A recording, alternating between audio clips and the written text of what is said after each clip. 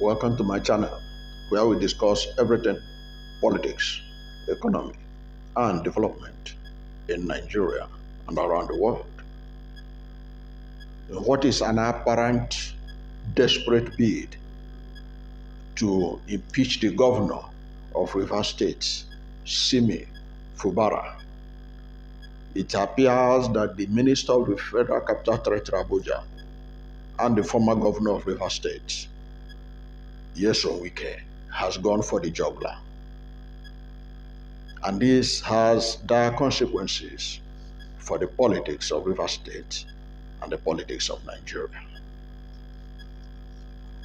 There is a breaking news that the crisis rocking the River State House of Assembly has taken a new dimension on Monday with the 27 members of the River State House of Assembly defecting from the ruling People's Democratic Party in the state to the All Progressive Congress.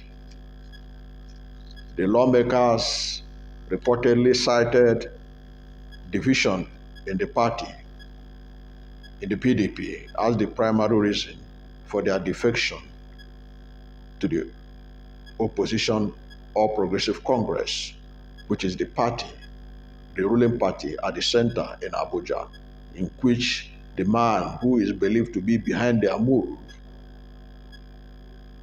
Nyesom is a serving minister. Now, the lawmakers cited division in the PDP as the primary reason for their defection to the APC. The affected lawmakers are said to be the ones loyal to the Minister of the Federal Capital Territory, Abuja, Nyesom Wike. The lawmakers, it was gathered, held plenary session by 8 a.m. on Monday, where the decision was taken by them to start under tight security at the entrance of the assembly complex and thus made it clear that they are now lawmakers representing APC in the River State House of Assembly.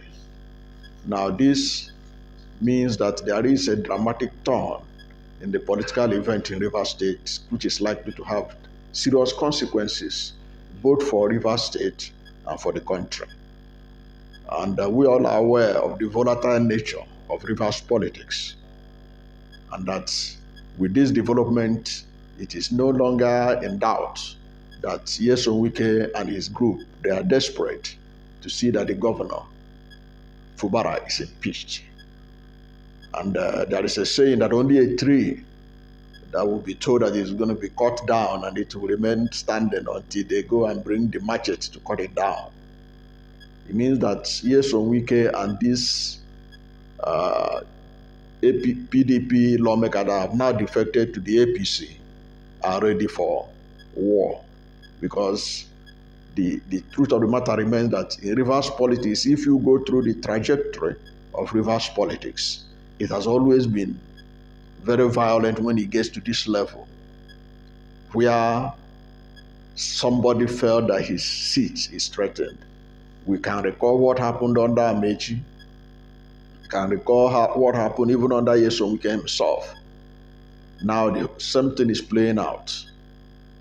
The, the indication is this, that River State is not going to be the same again. And it also means that Nyesom Wike has disregarded all the pleas by the Ijo elders. Fubara is the first Ijo to govern River State since 1999. People from Ikwerre extraction had governed River State since 1999. Now the only Ijo person that had been there as governor, Nyesom Wike think that he can remove him and the Ijo people will keep quiet.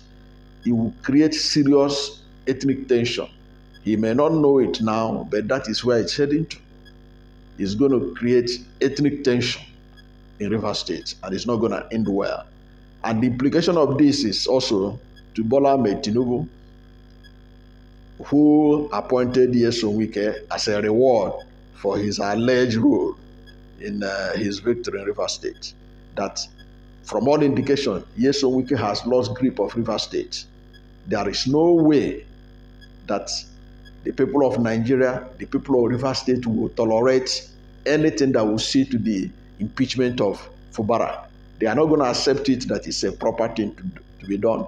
Already we know that the judiciary in Nigeria have been sold to the dog, to the dogs. But if they continue in that direction, people will see the hand of Bola Tinubu in it, and they will not be right. Uh, it will not win well for the government. They may think they are still benefiting now. At the end of the day, the people will resist what they are trying to do, because what is giving Yesowike power now is because he's in the government at the center. The report said that our tax security, who provided the tax security, is police from Abuja, giving order from Abuja. Already, we, we, we all are witnesses in the videos that went viral that Fubara himself was tear gas when he went to inspect the assembly complex that was bombed the other time. And uh, the leader of the John Nation, people like Chief Edwin Clark, had already raised the alarm and warned the president to call Nyesom Wike to order. It appears he's not ready to do that. Nyesom Wike is not listening. He has gone for the jugular. The presidency have to intervene and call Wike to order. If not, things is going to go out of hand in River State. River State is strategic to the economy of Nigeria. It is strategic to the economy of Nigeria. And whoever is the governor of River State has a lot of power. No minister can be more powerful than the governor of River State. If you go through the history of River State, anybody who had been governor of River State had always been strong politically, both within and outside, because of the enormous resources they were. That was why in 19, 2007, when Obasanjo was leaving, one of the strongest pillars of politics in Nigeria was Dr. Peter Odili. He was so, he had a lot of money, so much war chest that there was already groundwork for him to become the successor to uh, Obasanjo. The only reason why he was not able to succeed Obasanjo was the alleged EFCC report that was presented by Nuhu Ribadu at the time. Then Obasanjo now have to fall back to Musa Yar'Adua.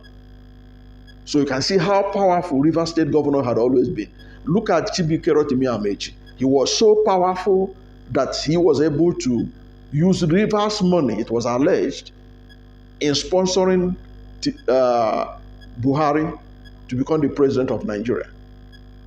Do you know what it means?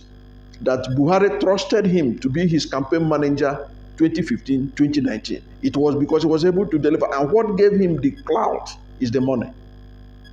The same thing happened to Nyesom Wike. All the gra and all the noise he had making is because of the money in River State that he had control over.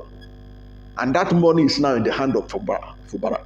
And he thinks he can kick Fubara out by mobilizing the lawmakers and then mobilizing Abuja. It will end up disastrously both for him and for the federal government if Tinubu supports this. Already Tinubu should know it that Nyesom Wike fighting with the governor of River State means that Nyesom Wike has lost ground in River State. He cannot be able to help Tinubu in 2027. If he thinks so, then Tinubu is just wasting his time, just deceiving himself. He can't be able, Nyesom Wike can't deliver rivers for him.